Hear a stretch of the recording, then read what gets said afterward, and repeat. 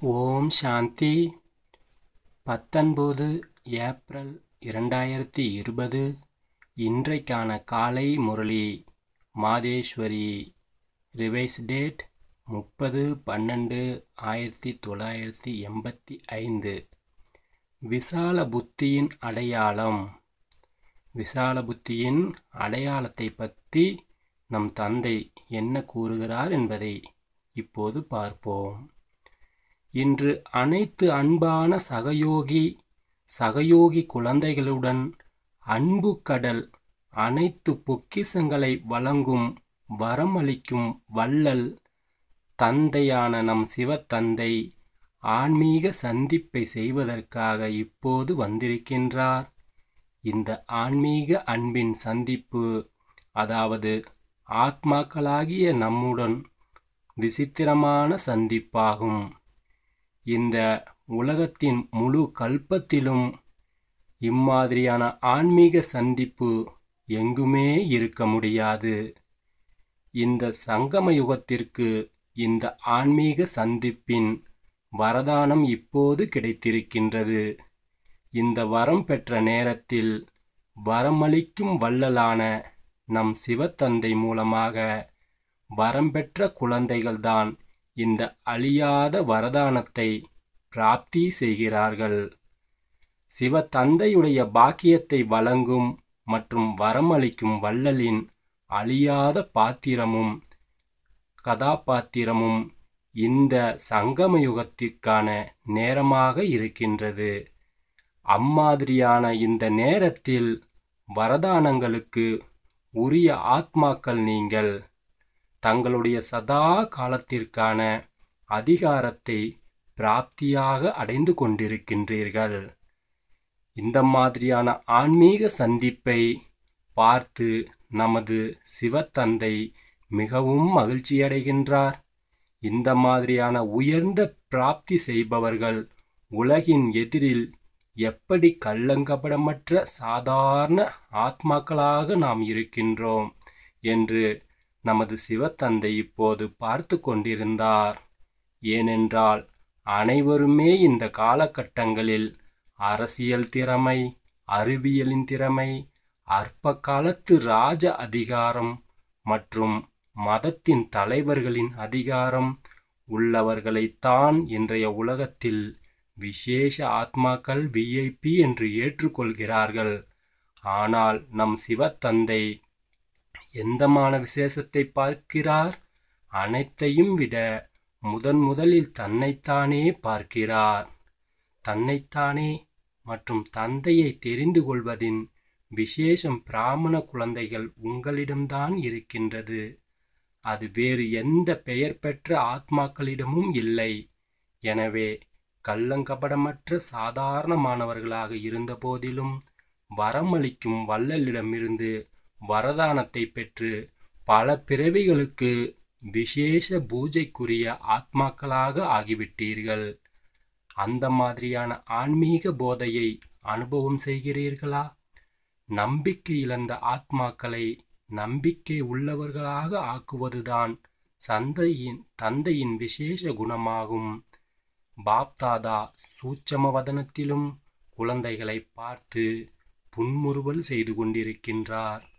ஒருவேளை இந்த முழு சபையும் உலக ராஜா ஆத்மாக்களின் சபை என்று கூறினால் ஒன்றும் அறியாத ஆத்மா நம்புவாரா? ஆச்சரியம் அடைந்து விடுவார்கள். ஆனால் தந்தைக்கு உள்ளபூர்வமான அன்பு உள்ள உள்ளத்தின் உயர்ந்த பாவனை உள்ள ஆத்மாக்களின் பிரியமானவர்கள் என்று பாப்தாதா தெரிந்திருக்கின்றார். உள்ளத்தின் அன்புதான் உயர்ந்த பிராப்தியை பெறுவதற்கான மூல ஆதாரமாகும். உள்ளத்தின் அன்பு தொலைதூரத்தில் இருக்கின்ற நம்மை போன்றவர்களுக்கும் மதுபன் நிவாசியாக நம்மை ஆக்கிவிடுகின்றது. உள்ளத்தின் அன்புதான் திரால திலாராம் தந்தைக்கு விருப்பமானதாகும். எனவே நாம் எப்படி இருந்தாலும் என்னவாக இருந்தாலும் நம் பரமாத்மாவிற்கு பிடித்தமானவர்களாகவும் எனவே தன்னுடைய குழந்தைகளாக நம்முடைய தந்தை நம்மை ஆக்கிக் கொண்டார். உலகத்தினரோ தந்தை வருவார். அந்த நேரம் அப்படி நடக்கும். காலம் இப்படி நடக்கும் என்று இப்பொழுது காத்திருப்பதிலேயே இந்த உலக மக்கள் இருக்கிறார்கள். ஆனால் நம் அனைவரின் வாயிலிருந்தும் உள்ளத்திலிருந்தும் என்ன வார்த்தை வெளியாகிறது? நாம் சொர்க்கத்தை அடையப் போகிறோம் அடைந்துவிட்டோம். நீங்கள் சம்பன்னம் ஆகிவிட்டீர்கள் என்று தந்தை கூறுகின்றார். மேலும் அந்த புத்திவான்கள் இந்த உலகத்தில் இருப்பவர்கள் இதுவரையிலும் பகுத்தறிவதில் நேரத்தை கழித்து கொண்டிருக்கின்றார்கள். எனவேதான் தந்தையை போலோநாத் அதாவது அதாவது கள்ளங்கபடமற்றவர் என்று வர்ணித்திக்கிறார்கள். தெரிந்து கொள்ளும் விசேஷம் உங்களை விசேஷ ஆத்மாவாக நம்மை ஆக்கிவிட்டது. நாம் இப்போது தெரிந்து கொண்டோம் பிராப்தி செய்து விட்டோம். இப்பொழுது மேலே என்ன செய்ய வேண்டும் என்பதை தந்தை புரிய வைக்கின்றார். அனைத்து ஆத்மாக்களின் மீதும் நாம் இரக்கம் கொள்ள வேண்டும். அனைவரோடும் எல்லைக்கு அப்பாற்பட்ட பரிவாரத்தின் ஆத்மாக்களோடு தன்னுடைய குடும்பத்தின் எந்த ஒரு ஆத்மாவும் வரதானத்திலிருந்து வஞ்சிக்கப்பட்டவராக இருந்துவிடக்கூடாது. அம்மாதிரியான ஊக்கம் மற்றும் உற்சாகம் நம்முடைய உள்ளத்தில் இருக்க வேண்டும் என்று தந்தை புரிய வைக்கின்றார். அல்லது தன்னுடைய குடும்பத்திலேயே பிஸியாக இருக்கிவி இருக்கிறோமா என்று தந்தை கேட்கின்றார். நாம் குடும்பத்திலேயே பிஸியாக இருக்கக்கூடாது. நாம் எல்லைக்கற்பாற்பட்ட நிலையிலிருந்து எல்லைக்கப்பாற்பட்ட ஆத்மாக்களின் சேவையில் உயர்ந்த எண்ணம்தான் நம்மை வெற்றி அடைவதற்கான சுலபமான வழி என்று நமது தந்தை நமக்கு புரிய வைத்து கொண்டிருக்கின்றார். இப்போது சேவைக்கான பொன்விழா கொண்டாடங்களை கொண்டாடி கொண்டிருக்கின்றீர்கள். அதற்கான விசாலமான நிகழ்ச்சியை தயாரித்திருக்கிறீர்கள். எந்த அளவு உயர்ந்த நிகழ்ச்சியை உருவாக்கியிருக்கின்றீர்களோ அந்த அளவிற்கு உங்களுடைய உள்ளமும் உயர்ந்த உள்ளமாகவும் ஊக்கம் நிறைந்த உள்ளமாகவும் மற்றும் விஷால ரூபத்தில் ஏற்பாடுகள் செய்திருக்கிறீர்கள். அல்லது பேசுவதற்கு வாய்ப்பு கிடைத்தால் பேசிவிடுவோம் என்று இதையே யோசித்துக் கொண்டிருக்க வேண்டாம். அழைப்புதல் விநியோகம் செய்வதற்கு வாய்ப்பு கிடைத்தால் அந்த சேவையையும் செய்யுங்கள். இதைத்தான் விஷால ஏற்பாடுகள் என்று சொல்ல முடியும். என்ன சேவை கிடைக்கிறதோ அதை செய்து கொண்டே இருங்கள் என்று தந்தை கூறுகின்றார் சொன்ன சேவையை செய்வது கட்டளைப்படி நடப்பவரின் அடையாளமாகும். ஆனால் எல்லைக்கப்பாற்பட்ட உயர்ந்த புத்தி உயர்ந்த ஊக்க உற்சாகம் என்ற இதை மட்டும் கூறுவதில்லை. விசாலத்தன்மையின் அடையாளம் ஒவ்வொரு நேரமும் தனக்கு கிடைத்திருக்கும் வேளையில் சேவையில் புதுமையை கொண்டு வருவதென்பதாகும். உணவு பரிமாறும் வேலையாக இருந்தாலும் துப்புரப்படுத்தும் வேலையாக இருந்தாலும் சொற்பொழிவு நிகழ்த்தும் சேவையாக இருந்தாலும் ஒவ்வொரு சேவையிலும் ஒவ்வொரு நேரமும் புதுமையை நிரப்பிக்கொண்டே நாம் இருக்க வேண்டும். அப்பொழுதுதான் நம்முடைய விஷாலத்தன்மை பெருகிக்கொண்டே இருக்கும். ஒரு வருடத்திற்கு முன்பு என்ன செய்திருந்தீர்களோ அதில் ஏதாவது ஆன்மீகத்தன்மை சேர்க்க முடியுமா என்று பார்த்து புதியதாக அவசியமாக இருக்கும். அந்த மாதிரி உள்ளத்தின் ஊக்கம் உற்சாகம் இருக்க வேண்டும். எப்படி நடக்கிறதோ அப்படித்தான் இருக்கும் என்று யோசிக்க கூடாது. ஒவ்வொரு நேரமும் விதி மற்றும் வளர்ச்சி இப்போது மாறிக்கொண்டே இருக்கின்றது. எந்த நேரம் எப்படி இருக்கும் என்று தெரியாது. எனவே அதேபோல் ஒவ்வொரு ஆத்மாவிற்கும் தந்தையின் பரிவாரத்தின் நெருக்கத்தை விசேஷமாக அனுபவம் செய்யுங்கள். என்ன புதுமை கொண்டு வருவது என்று சிந்தித்து கொண்டே இருங்கள். இப்பொழுது மாநாட்டிற்கான உயர்ந்த காரியங்களை செய்கின்றீர்கள். அனைவருமே செய்து கொண்டிருக்கின்றீர்கள். பெரியவர்கள் யாரோ அவர்கள்தான் செய்கிறார்களா என்ன? இது அனைவரின் காரியம்தான் அல்லவா? ஒவ்வொருவரும் புதுமைக்காக நான் சேவையில் முன்னேற வேண்டும் என்று யோசிக்க வேண்டும். அனைவரின் எதிரிலும் பொறுப்பாளர்களாக குறைவானவர்களைத்தான் வைக்க வேண்டியதாக இருக்கின்றது. எப்படி சொற்பொழிவு நிகழ்த்துபவர்கள் கொஞ்ச பேர்கள்தான் இருப்பார்கள்? இந்த முழு சபையும் செய்யுமா என்ன? ஒவ்வொருவருக்கும் ஒவ்வொரு பொறுப்பு இருக்கின்றது.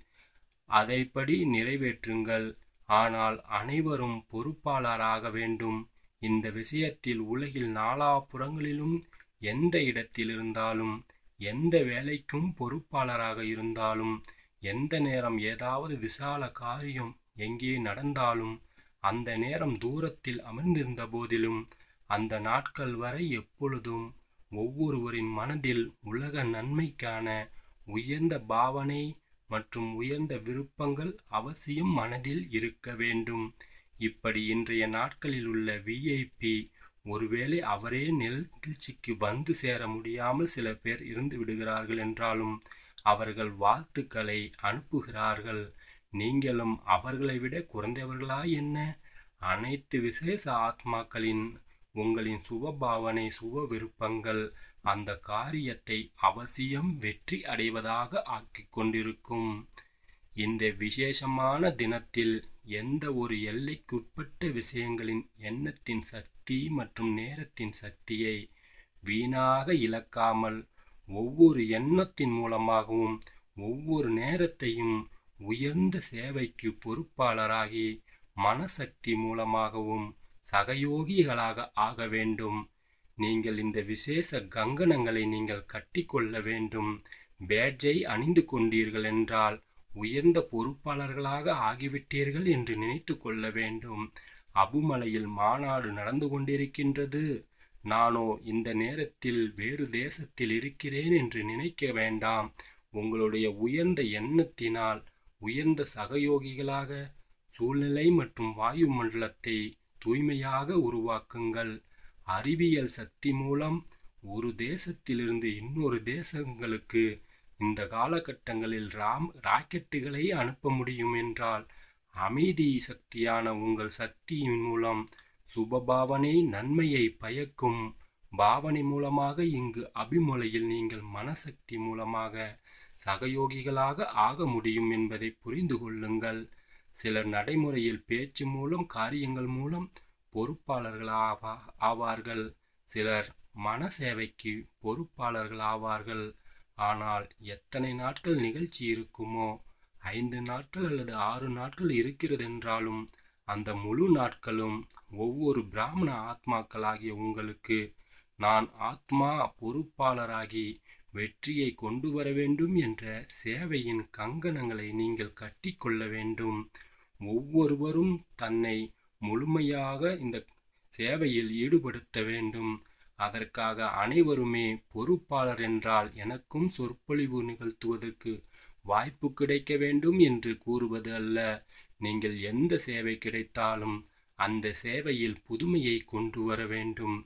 இதை பொறுப்பாளர் என்று சொல்ல மாட்டோம். எங்கே இருந்தாலும் என்ன சேவை கிடைத்தாலும் தூரமான இடத்திலே அமர்ந்திருந்தாலும் அல்லது மேடைகளிலே அமர்ந்திருந்தாலும் நான் சகயோகியாக கண்டிப்பாக ஆக வேண்டும்.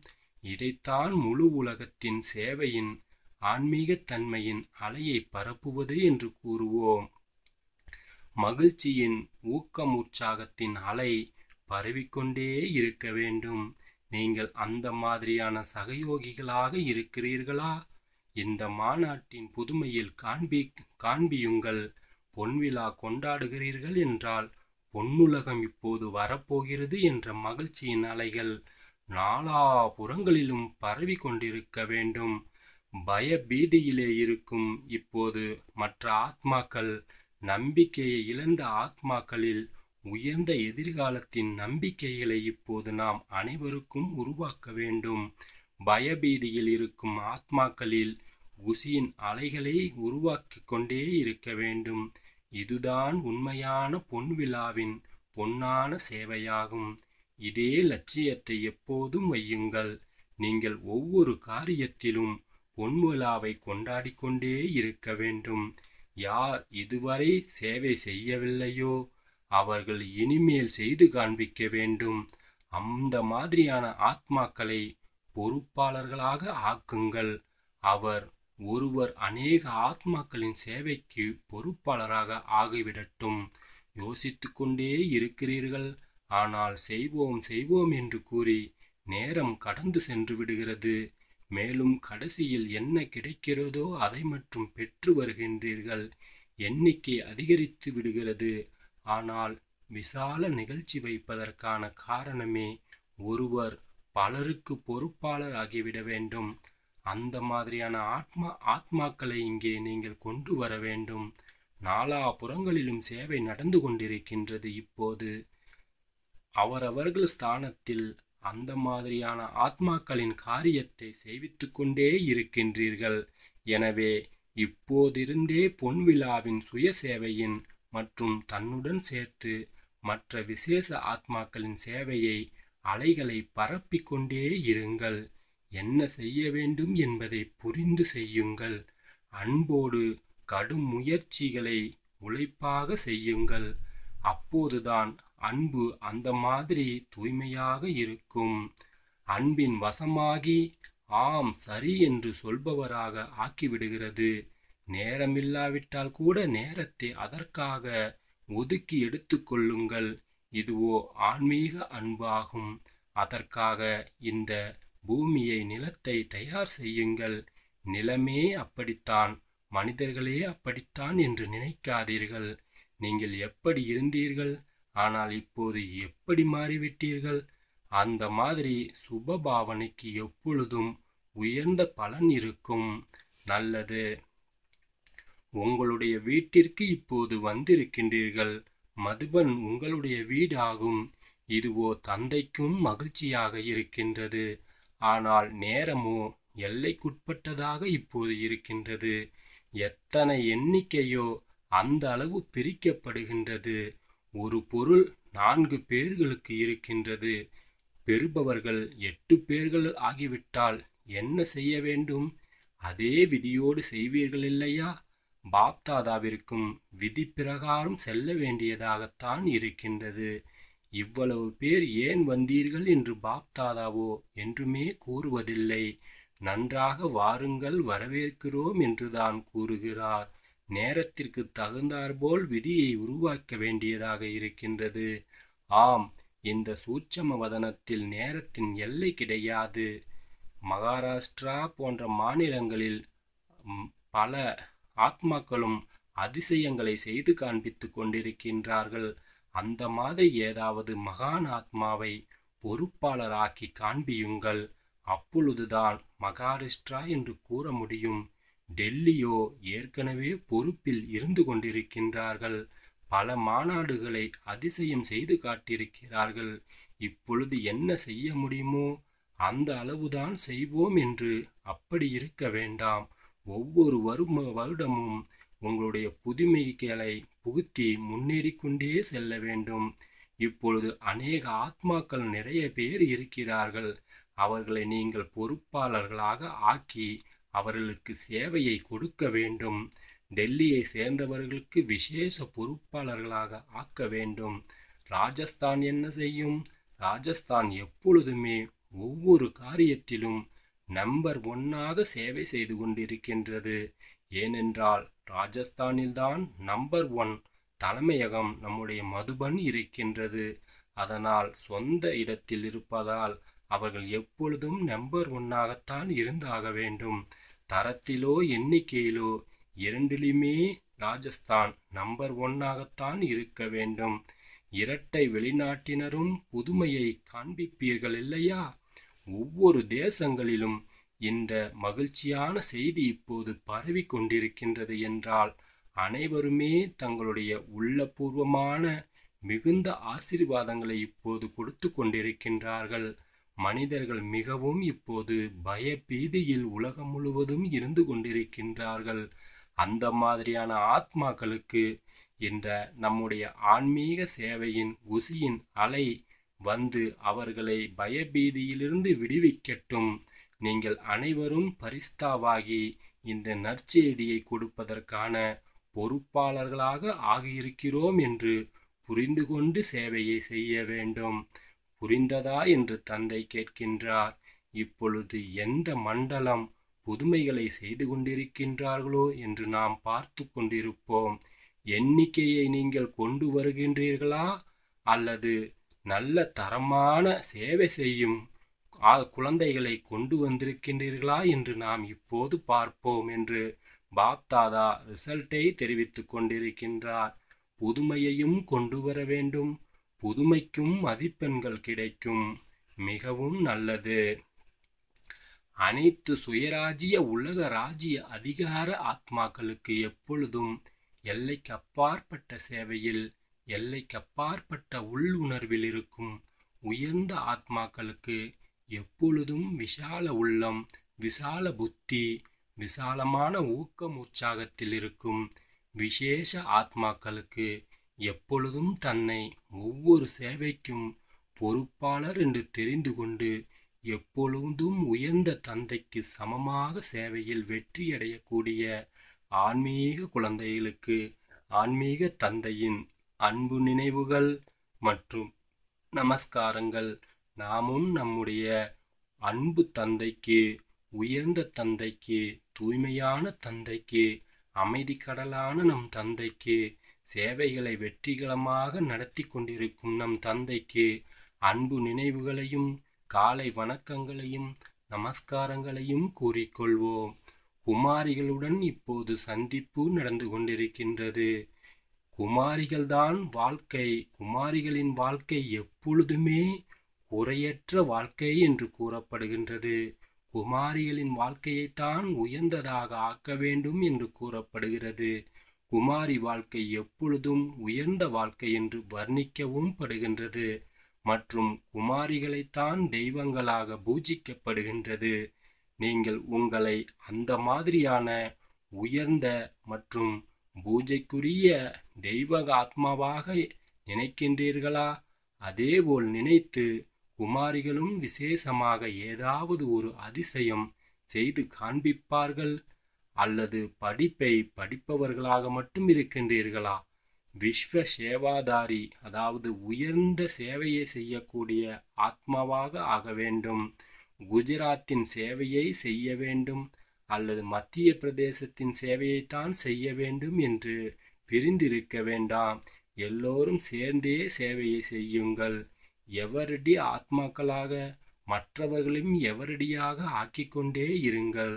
அவரவர்கள் மாநிலத்திற்கான சேவையை மட்டும் செய்யாமல் அனைவருடைய சேவையையும் ஊக்கம் உற்சாகம் அளியுங்கள். அதை செய்ய முடியும். இன்றைய அரசாங்கம் என்ன கூறுகிறதோ அதைத்தான் செய்ய முடியாதா? அம்மாதிரி யான ராஜ்யத்தில் இருந்து கொண்டே சேவையை செய்ய வேண்டும். அந்த அளவு சக்திசாலியான சேவை நடந்தால்தான் நமக்கு வெற்றிகளும் கிடைக்கும். இந்த ஞான படிப்பில் வரிசை எண்ணையும் பெற்றிருக்கிறீர்களா? நம்பர் ஒன்னாக பெற வேண்டும் என்ற லட்சியத்தை தான் வைக்க வேண்டும். குறைவாக பேசுங்கள் ஆனால் நிறைவாக சேவையை செய்யுங்கள். உங்களுடைய வாழ்க்கையிலிருந்து அடுத்தவர்களும் உங்களை பார்த்தே கற்றுக்கொள்ளட்டும். இந்த விசேஷத்தை நீங்கள் உங்கள் வாழ்க்கையிலே காண்பியுங்கள். வாயினால் சொல்லும் பாடத்தை சொல்பவர்களாக மட்டும் இருக்க வேண்டாம். அனைவரும் உங்களை பார்த்தே உங்கள் மூலமாக பாடங்களை படித்து கொள்ள வேண்டும் என்ற விசேஷங்களை உருவாக்கி கொள்ளுங்கள். உங்களுடைய வாழ்க்கையே அனைவரும் ஆசிரியராக்கிவிட வேண்டும். வாயினால் பேசும் ஆசிரியர் இல்லை. வாயினால் கூற வேண்டியதாக இருக்கிறது. ஆனால் வாயினால் கூறிய பிறகும் ஒருவேளை வாழ்க்கையில் இல்லை என்றால் அதை ஏற்றுக்கொள்ள மாட்டார்கள். நாம் அதற்கேற்றாற்போல் சொல்வதுக்கேற்றாற்போல் நாம் வாழ்க்கையிலும் நடத்தி காட்ட வேண்டும். அப்படி அதிகாரம் பெற்றிருக்க வேண்டும். எனவே தன்னுடைய வாழ்க்கை மூலம் யாரையாவது தந்தையின் குழந்தையாக ஆக்க வேண்டும். இன்றைய நாட்களில் கேட்பதற்கான ஆர்வமும் யாருமே வைப்பதில்லை. பார்க்கத்தான் விரும்புகிறார்கள். ரேடியோவில் வானொலியில் நிகழ்ச்சிகளை கேட்பதை விட டிவியிலே தொலைக்காட்சி பெட்டியில் நிகழ்ச்சியை பார்ப்பதைத்தான் அதிகம் விரும்புகிறார்கள். அதை போலத்தான் உங்களுடைய சொற்பொழிவை கேட்பதை விட உங்களை பார்த்து நீங்கள் முன்னேறுவதை நீங்கள் இருக்கும் தூய்மையை பார்த்து அவர்கள் உங்களை விரும்பி உங்களுடைய வாழ்க்கையைப் போல் அவர்களும் தூய்மையாக வேண்டும். அந்த அளவிற்கு நீங்கள் உங்களுடைய வாழ்க்கையை நடத்தி காட்டுங்கள்.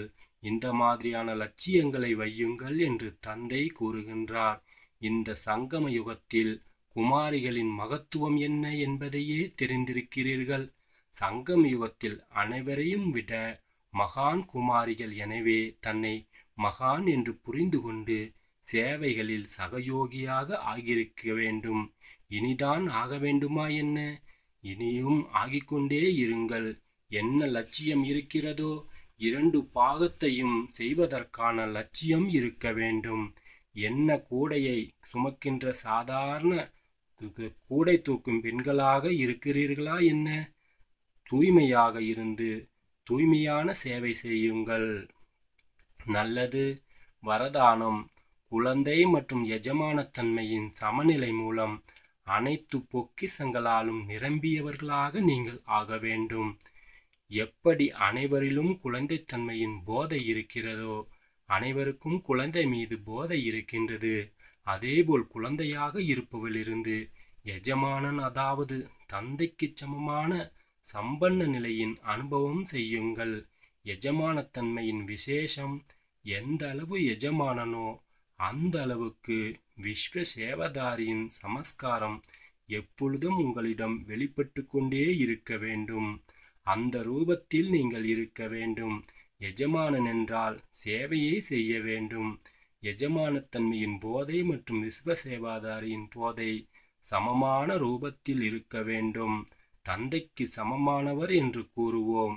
குழந்தை மற்றும் எஜமானன் என்ற இரண்டு சொரூபங்களிலும் எப்பொழுதுமே பிரதீட்சையாக காரியத்தில் செய்து கொண்டே இருக்க வேண்டும். அப்போதுதான் நீங்கள் தந்தைக்கு சமமாக அனைத்து பொக்கிசங்களாலும் நிரம்பிய நிலைகளை அனுபவம் செய்ய முடியும். ஸ்லோகன். ஞானத்தின் குறைவில்லா பொக்கிசங்களின் அதிகாரி ஆனீர்கள் என்றால் அடிமைத்தனம் அகன்றுவிடும் ஓம் சாந்தி.